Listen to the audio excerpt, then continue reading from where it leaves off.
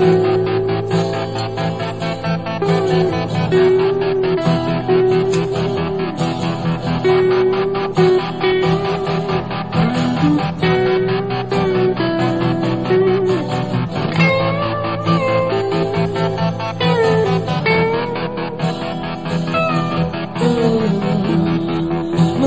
harus tunggu?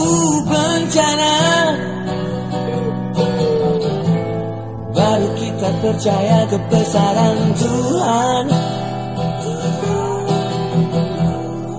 Mengapa harus tunggu bencana? Tentara datang untuk kemanusiaan.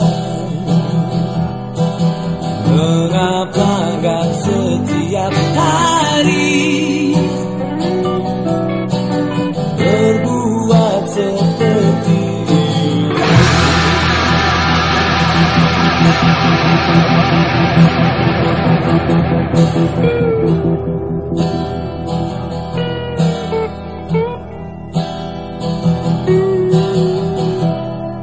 Mengapa harus tunggu bencana?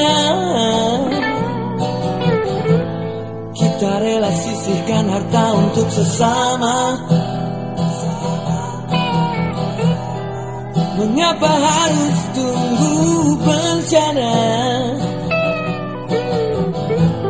Baru kita bersahabat dengan alam.